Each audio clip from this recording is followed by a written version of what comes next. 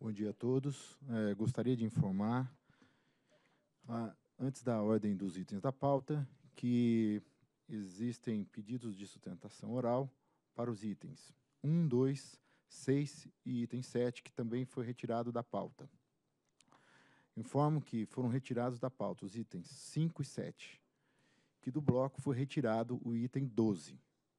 Né? Os processos serão deliberados na seguinte ordem. Primeiro bloco com os itens 8 a 17, exceto o item 12 retirado de pauta. Depois os itens na ordem. É, 1, 2, 6, 3 e 4. É, o item 6 é, vai ficar para o final, é, por um pedido, apesar de ter sustentação oral. Era isso.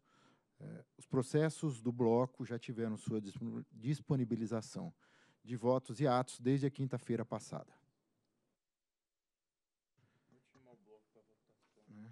Então vamos é, submeter o, o bloco para votação, lembrando que o item 12 foi retirado do bloco.